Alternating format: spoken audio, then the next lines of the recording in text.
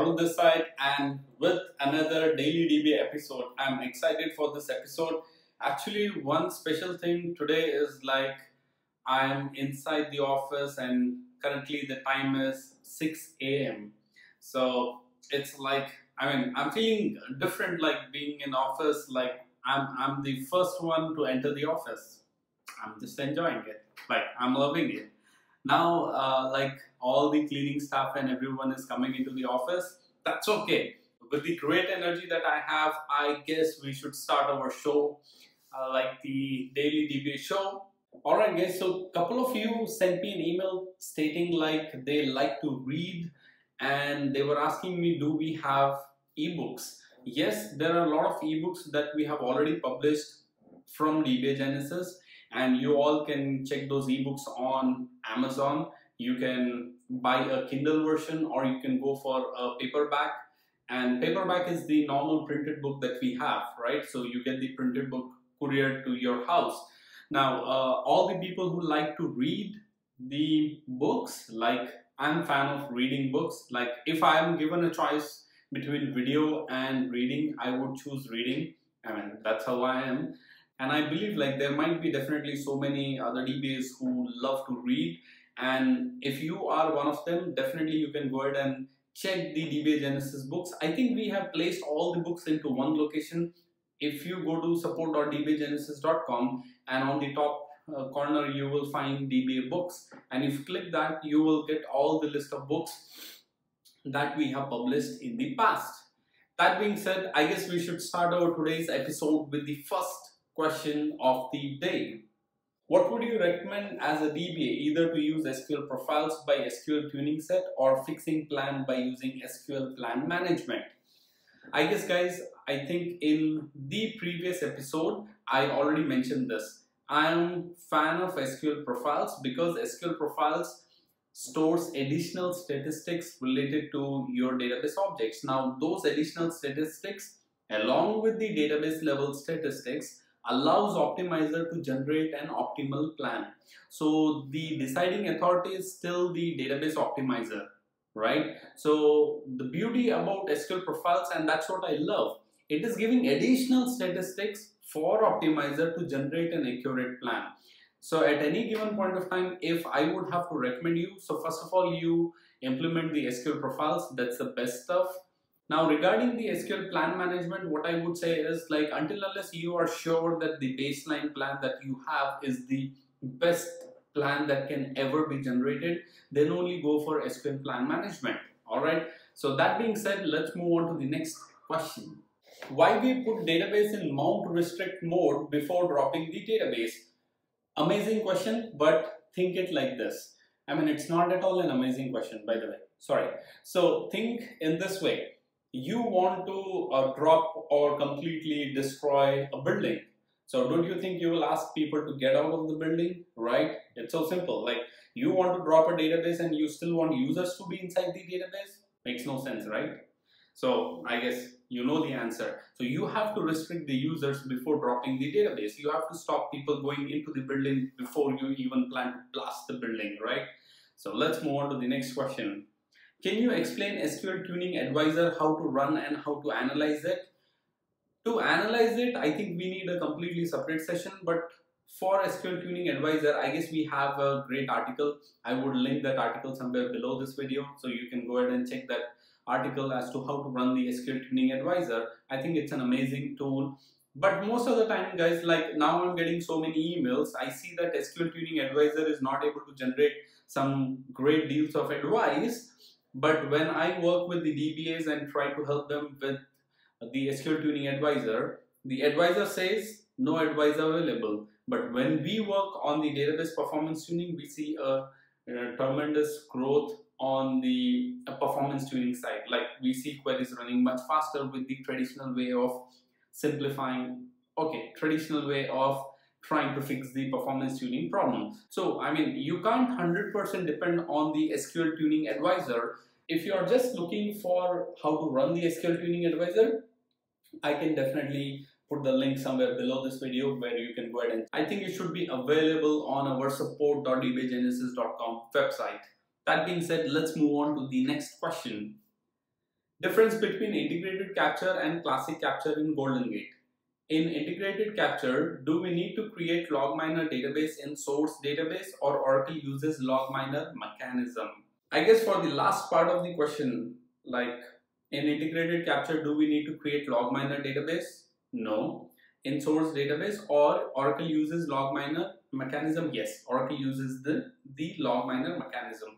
But you can have a separate database also, but I think that will be a little complex uh, configuration but for you, I guess this is the best one. Like when you are trying to use integrated capture, the log mining service will be activated on the source database. That's the second part answer. Let's come to the first part. So difference between integrated capture and classic capture. Classic capture, let's keep it dead simple because I know you need to study more in order to understand the difference.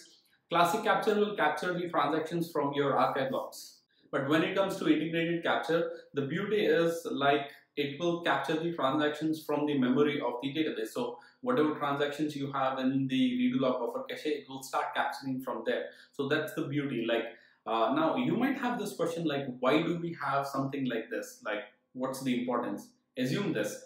So if the capture is happening from the archive log files, and there is a transaction like when archive logs are generated when the redo log gets full. So if transactions are slow and a user has already committed one transaction but other transactions are not going inside the database so the archive will not be generated right? So if the archive is not generated it's hard for the target server to receive that transaction. So that's the problem with the classic capture. But when we have integrated capture, whatever transactions are getting committed, they are constantly being replicated or sent on to the target system. Remember this, integrated capture is only available currently with the Oracle database. It's not available with the other vendors of the database. So if you are using other vendor source databases and you're using Golden Gate to extract, then you have to go with the classic capture only, right? So I guess you get the answer and I think so. We have a video on our YouTube channel which discusses the difference between the integrated capture and the classic capture. I'll make sure if the video is not available, I'll try to publish the video for you. That being said, let's move on to the last question, I guess. What is virtual IP or high availability IP and how it is different from normal IP? Hmm. Amazing question. I'm actually looking for something to explain you in a better way, right? So, okay, I don't have anything. So let me try this. Guys, when you assign an IP address, right? Now I'm connected to my LAN wirelessly. This is my laptop. So what happens internally, like when I'm connected to Wi-Fi, Wi-Fi will dynamically assign a IP address to my system, like all the systems in our office, right? So an IP address that is assigned to one device cannot be assigned to other device. That is the problem or that's how the normal or the physical IP addresses work. But when it comes to virtual IP, so assume like uh, Alright, so I have two objects. I'll just try to see what can we do. So assume this is node 1 of the databases. I mean, this is node 1, this is node 2, right? So we have physical addresses assigned to these nodes. The biggest problem with physical IP address is it is actually attached to a physical device, right? So if we assign an IP address for this node and this node, these are actually attached to these physical servers all right now when it comes to a virtual IP virtual IP is not attached to a physical device like virtual IP will run above these nodes now the beauty about virtual IP is if this node goes down so the virtual IP can fail over or move to another live node in a cluster so let's take if node 1 goes down, right? So the virtual IP, not the physical IP, you cannot transfer the physical IP, right? Technically you can, but if you want to have that failover mechanism or high availability mechanism, then you have to go with virtual IP, right? So this virtual IP can be moved to another system. So this second node, definitely it will have its own virtual IP and it will also have the failover virtual IP. Okay. So now you have scan that is scan listener which is running on the top. So what happens is, okay, I mean, I want to go back to the scan concept and then I'll come and explain the virtual IP. So scan, how scan works, we have already seen in our previous episode. So you have a scan uh, listener whenever user connection comes. So the scan listener will, will try to resolve the least loaded node. Okay, let's assume the first node is the least loaded node. So scan will transfer the connection to this node, right? Very simple. Now when another connection is coming, let's take this is the least loaded node, scan will send the connection to this one. Now the third connection is about to come. Okay, third connection is coming, this node goes down, this virtual IP is assigned to this node, okay, the second node, second light node. Now the scan IP says that the least loaded node is the first node, which is down, right? So the scan IP will resolve to the virtual IP of the node 1, but the node 1 virtual IP is currently running on node 2. So ultimately the connection will land onto the node 2. This is the concept of virtual IP. The beauty about virtual IP is it is not physically assigned or attached to any device in your uh, network or in your infrastructure. It is a floating IP okay so it can float from one system to another system and it can still accept the connections so guys for all the experienced DBAs like if you want to master virtual IP okay assume this virtual IP is not a new concept that is invented by Oracle RAC. virtual IP was existing even before Oracle RAC came into picture right so I want to give a challenge to all the DBAs, all the experienced DBAs who are curious about Oracle RAC, who are learning Oracle RAC. This is a challenge for all of you. Try to read about Linux Keep Alive. Okay, I'll repeat, Linux Keep Alive. I'm not going to say what exactly it is, but I will give you a hint. Linux Keep Alive is the way or it is one thing that CRS uses in order to manage the VIPs. Okay, so that's a hint. So if you read about Linux Keep Alive, that's when you will understand about the VIPs, how VIPs work, and you will also understand how the Oracle CRS uses the Keep Alive. So I'm giving you two challenges. First is read about Linux Keep Alive. The second is how CRS uses Linux Keep Alive. And because of the Keep Alive I mean, that's how the VIPs are managed on Linux systems. So what it is, how it works, it's a DBA challenge. I want everyone to read about it, comment below these videos.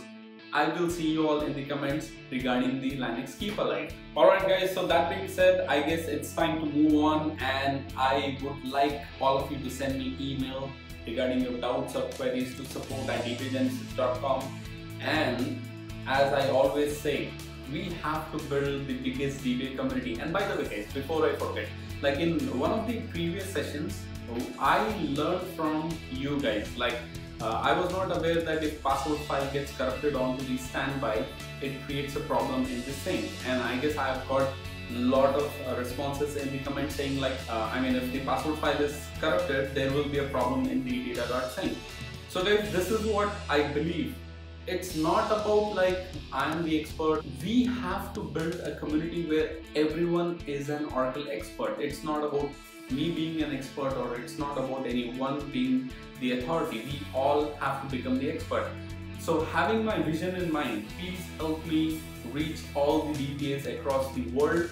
We have to get as many DBAs as possible on our platform so that we all learn together and bang into the DBA world.